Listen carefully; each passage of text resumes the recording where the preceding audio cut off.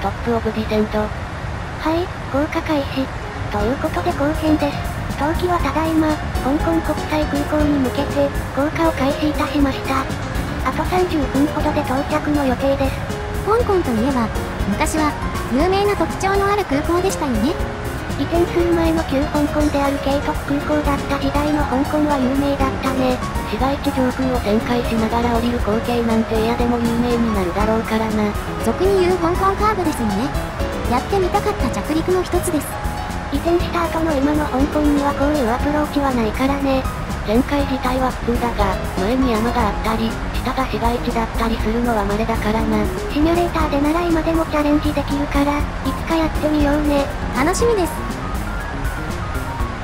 香港の明かりが見えてきましたね。だいぶ降りてきたな。そうだね、もうすぐ到着だよ。今回の着陸はどんな感じなんですか？着陸自体はいつも通りの ILS だよ。ただ、周りが山だらけだな。高度には気をつけないといけませんね。高度制限はしっかり守らないとね。直線上にも3000フィート級の山があるしな。フラップ1、スピードチェック、フラップ1。もうすぐローカライザーに開業ですね。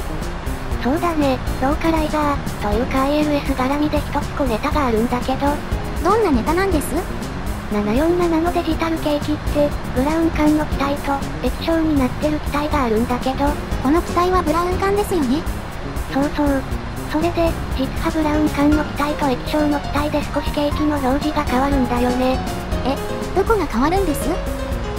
一番わかりやすいのは、PFD のローカライザーとグライドスロープのシンボルだね。ちょっとわかりにくいけど、このピンクの丸がそれぞれローカライザーとグライドスロープのシンボルなんだけど、そうですね。おなじみのやつですね。ブラウン管だと、これらのシンボルは ADI の上に重ねて表示してあるよね。でも液晶だと、ローカライザーアライブ。おっと、フラップ5、スピードチェック、フラップ5。それで、液晶だとどうなるんです？液晶だとこんな感じで、ADI の横に表示されるようになるんだよね。ローカライザーキャプチャー。って隠すとどうでもいいネタだな。だから最初に小ネタって言ったじゃない。本当に小さいネタでしたね。でもこういう小ネタって気づくとちょっと楽しくなってきたりとか、話すならもっと有益な情報をだな。まあいいじゃないですか。ものによっては面白いかもしれないですよ。もう小ネタないけどね。もっとレパートリーを増やしていけ。ところで、皆さんは、香港は行ったことあるんですか？出発の時も言ったが、初めてではないな。久々ではあるけどね。私は初めてなので、楽しみです。アジアの一大拠点だから大きいぞ。沖縄の那覇空港の拡張移転の構想図がこの香港に似てるよね。日本の滑走路の間にターミナルっていうスタイルが一番理想なのかもな。複数の滑走路の間にターミナルがあれば、どっちの滑走路も効率よく使えそうですしね。どこの空港も大きい空港はそのスタイルが多いよね。グライドスロープキャプチャー。オッケー、MCP は5000にセットしようね。フラップ10、スピードチェック、フラップ10。このアナログな MCP もいいですね。これより後の世代はデジタルだもんなこれも時代の流れだね。さて、そろそろ空港が見えるかな。んと。エアポートインサイト。エアポートインサイト。空港は確かに見えますが、暗くないですかねアプローチライトも見えませんし。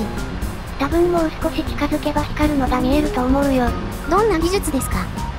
そこは大人の事情だから突っ込んだら負けなのぜ。しょ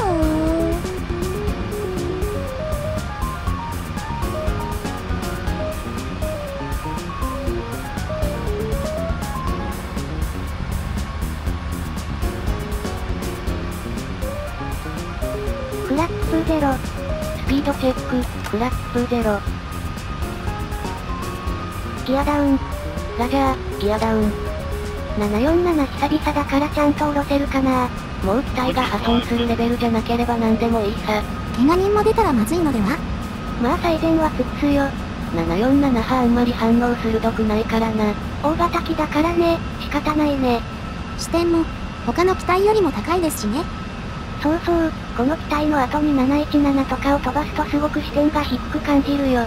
747はコックピット2階だしな。視点が高いと見通しはいいけどね。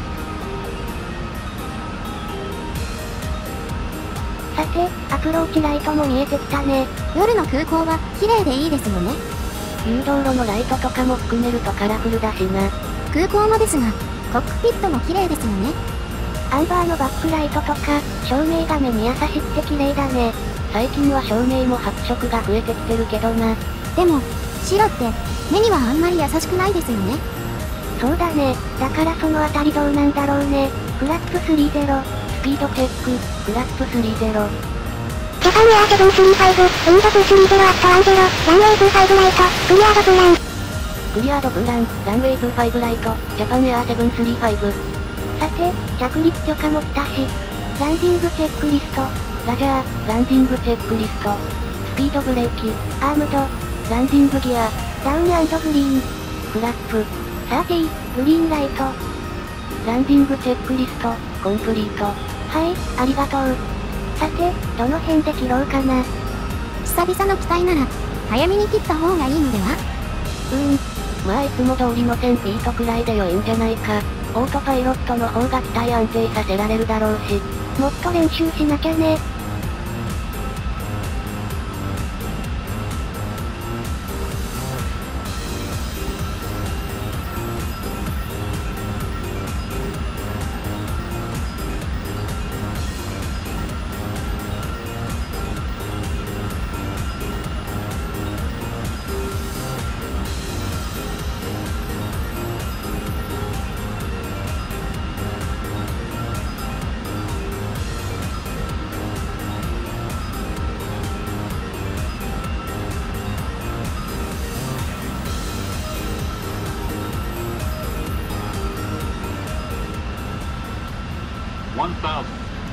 パイロットディスエンゲージ、FD、FD。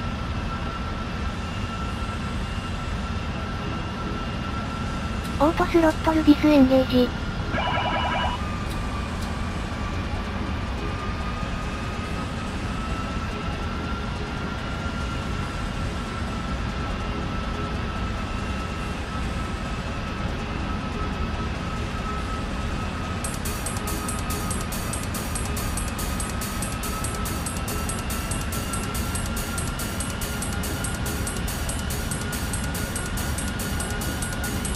500.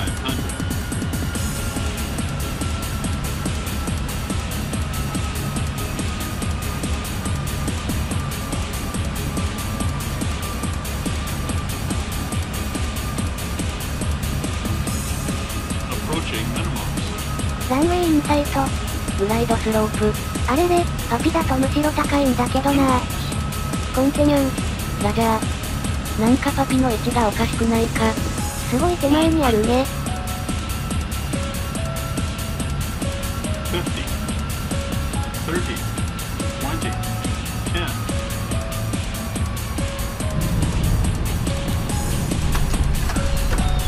スピードブレーキアップ。リバースグリーン。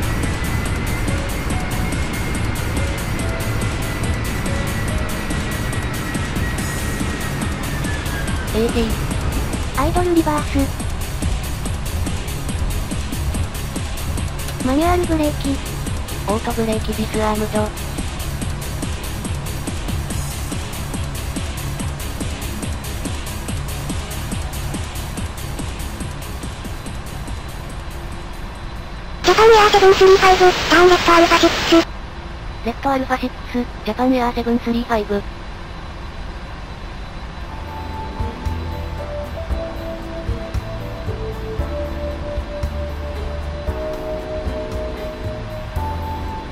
よーし、降りた降りた。ここが、香港。ターミナルはもうちょい左側だな。ここ左だね。あそこの並びだな。かなり大きいターミナルですね。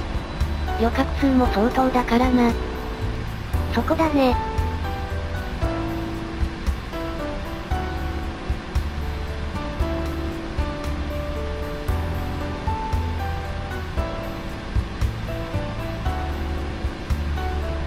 やっぱり、ここも VDGS があるんですね。むしろ大きい空港だとないケースの方が珍しいからな。こっちの方が見やすいしね。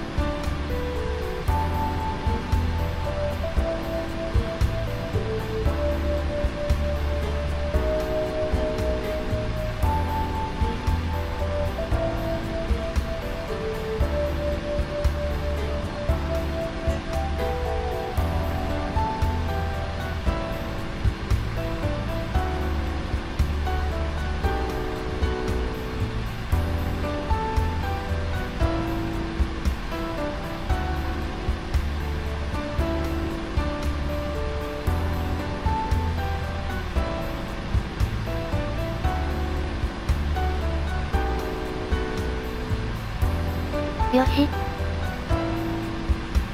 パーキングブレーキセット。GPU を接続してもらおうか。ちょっとかかりそうだな。ナンバーワン、カットオフ。よし、電源を切り替えてと。ナンバー4、カットオフ。あいよそれでは、本日も陶器にご登場いただき、誠にありがとうございました。またのご登場を心よりお待ちしております。それでは、次のフライトでお会いしましょう。じゃあの。次回もまた見てくださいね。